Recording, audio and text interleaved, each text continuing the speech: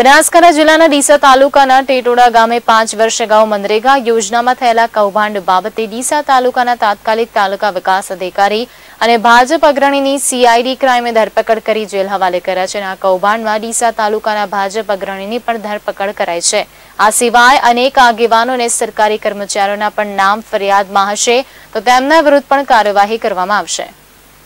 ડીસા તાલુકાના ટેટોડા ગામે પાંચેક વર્ષ અગાઉ ગામમાં સરપંચ, ઉપસરપંચ, તલાટી તેમજ ડીસા તાલુકાના તત્કાલીન તાલુકા વિકાસ અધિકારી મનરેગા યોજના ટેકનિકલ આસિસ્ટન્ટ વગેરે મળી ગામના સ્મશાનની દિવાલ, રાજીવ ગાંધી ભવન, આરસીસી રોડ, શાળાના ઓરડા તેમજ તળાવ ઊંડા કરવાના કામ સહિતના કામોમાં કોઈપણ કામ કર્યા વગર ગામના વ્યક્તિઓને નામે ખોટા જોબ કાર્ડ ઉધારી રૂપિયા ઓગણીસ લાખ ઉપરાંતની રકમની ઉચાપત કરી હતી. આ બાબતે ગામમાં જાગૃત નાગરિક ભુરાભાઈ પટેલનું પણ જોબ કાર્ડ ખોટું બનાવી દેવામાં આવ્યું હતું અને તેમને નામે પણ બારોબાર પૈસા ઉપાડી લેવામાં આવતા તેઓએ આરટીઆઈ દ્વારા માહિતી મંગાતા સમગ્ર કૌભાંડ બહાર આવ્યું હતું. અને જિલ્લા વિકાસ અધિકારીએ કમિટી બનાવી હતી. તેમાં તપાસનો ઓર્ડર કરતા બાબતે સ્પષ્ટ ગેરરીતિ જણાતા ડીસા તાલુકાના તાલુકા વિકાસ અધિકારી ચંદુભાઈ ડગલા, તાલુકા ભાજપના અગ્રણી ગામના સરપંચ, ઉપસરપંચ તેમજ મનરેગા યોજનાના ટેકનિકલ આસિસ્ટન્ટ સહિત નવ જેટલું વ્યક્તિઓ સામે ડીસા તાલુકા પોલીસ મથકે ફરિયાદ નોંધાવી હતી. જો તત્કાલિક ટીડીઓ સહિત રમેશ કાલમાએ આગોતરા જામીન મેળવ્યા હતા, જેથી તેમની ધરપકડ થઈ શકી હતી. જો કે સામે પક્ષે ફરિયાદીને અસંતોષ જણાતા તેને હાઈકોર્ટમાં અરજી કરી હતી, જેથી હાઈકોર્ટે સમગ્ર કૌભાંડની તપાસ સીઆઈડી ક્રાઇમને સોંપી હતી. મને આ ટેટોડામાં પંચાયત ગોમ પંચાયતની અંદર હું ગયેલો ગોમ પંચાયતમાં. એટલે પૂછેલું તલાટી સાહેબની કે સાહેબ, આપણે વિકાસના કોમો શું શું આવેલા છે તલાટી સાહેબે કીધેલું મને ધમકાઈને કે ભાઈ, રમેશભાઈ ધર્માભાઈ અને એને મને ધમકાયો અને સરપંચ દિનેશભાઈ નાથાભાઈ કે કશું વિકાસના કોમ નથી આવેલા હા, અને કશું કોઈ આવેલું નથી સરકારનું.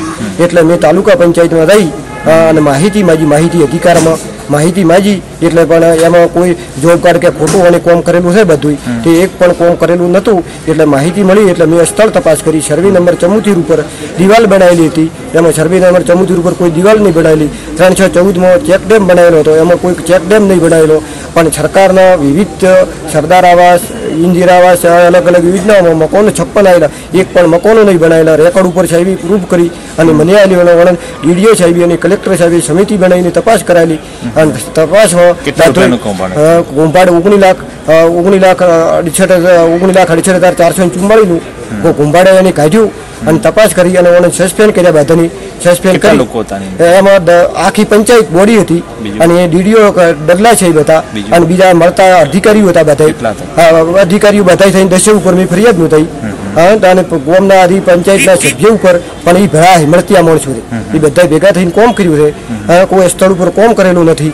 અને મેં ડાયરેક્ટ અહીંયાથી આવ્યો ડીએસપી સાહેબની તપાસ આલી હાઈકોર્ટે. હાઈકોર્ટે ડીએસપી સાહેબની તપાસ આલી એટલે કોઈ સાહેબી તપાસ કરી ન એથી પર આલી સીઆઈડી ક્રાઇમની આલી. સીઆઈડી ક્રાઇમથી યાદ હવે કોર્ટમાં એને રજૂ કરાય સીઆઈડી ક્રાઇમે. અને મને યુગ લાગે છે હવે મોણ છે સરકારના પૈસા તિજોરીઓમાં કોઈ કોમ સરકારનું કરતા નથી. અને ગરીબોના પૈસા ખાઈ રહી અને કોઈ ઉદ્યોગ યોજના પોકતી નથી. ડાયરેક્ટ હવા વેચેટિયા માણસો માલામાલ થઈ રહી હતી. અને મને ન્યાય મળવો જોઈએ. મને વિશ્વાસ છે કોર્ટ. હવે બે હજાર બારથી બે હજાર ઓગણીસ આજે ચાલુ છે. હા, હજી સુધી કોઈ મને સસ્પેન્ડ કર્યા.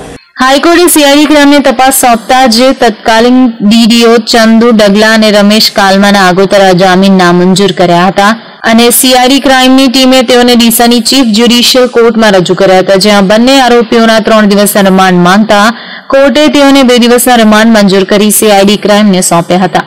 ત્યારે હવે સીઆઈડી ક્રાઇમની તપાસમાં શું બહાર આવે છે અને ભ્રષ્ટાચાર મામલે શું બહાર આવશે તો આવનારો સમય જ બતાવશે. આમાં રમેશભાઈ ધર્માભાઈ અમે જે ભાજપમાં ડેલિકેટ છે અને ચેરમેન તરીકે કારોબારીનો છે એ પણ સત્તાઓ અને ભૂકવે છે અને પણ મારાથી ત્રીસો છવ્વીસ રૂપિયા ઉપડી ગયા હતી પણ કોઈ પણ ત્રણસો ટીવીમાંથી એક પણ લોકોએ કોમ નહીં કર્યું હા? એક પણ ત્રણસો તેવી હા અને બે હજાર શું આ જોબ કાર્ડ બન્યા તરુણો અમારા ગામથી કોઈ પણ જોબ કાર્ડની સાચી સહી નહીં લીધી. બારોબાર પૈસા ઉપડી જાય બધી સારી સાચી તપાસ થાય અને કોઈ સ્થળ ઉપર કોમ નથી. અમે અત્યાર સુધીમાં હાથ વરમાં કોર્ટ કચેરીના કોઈ હજારો ધક્કા ખાધા મેં ખરચ મારા અંદાજથી મારો ધંધો બગાડી અને પાંચ લાખ રૂપિયા જેટલો ખર્ચો છો છે. પણ આજ દાડા સુધી મને એવો વિશ્વાસ છે. દવે સાહેબના અમે ચાલે છે. મને ન્યાય મળશે. મારી સરકારના પૈસા પાછા ભરી. હા, અને આવા દુષ્કર્મીઓ સાથે અને એને કડક ને કડક સજા થાય મારી પાસે મઉ પર દિનેશભાઈ નાથાભાઈ સરપંચ હતો. સરપંચની એની પત્ની ઉપર પત્ની મઉ પર છેડતીની ફરિયાદ કરી હું ઘંટીએ દળતો હતો. અને કરી કે આ કેસ તું સમાધાન કરી છે નહીં સમાધાન કરાવો તો તમે જોનથી મારી નાખે. આ હું મારે અનાજ દળવાની અને દુકાન છે. મારે દુકાન બંધ રાખવી પડે છે અમુક સમય. અમના પૂર્ણ થાય એટલે. અને હું મારું ભરણ પોષણ નહીં ચલાવી કે તો મારા જીવન હંતાડી હતાઈને રહું છું. જો મારે આ સરકારના ગરીબ માણસોના પૈસા ખાઈ જતા અને મારા પણ તેત્રીસો છવ્વીસ રૂપિયા ખાધા. હા નહીં સરકારની કોઈ ખબર ન હોય, સરકારને ખબર પડ્યા બદલે મેં આ બધો ઉદ્ગાર વિકાસ પ્રજાપતિ સાથે રાજ લાઈવ ગુજરાત ન્યૂઝ બનાસકાંઠા.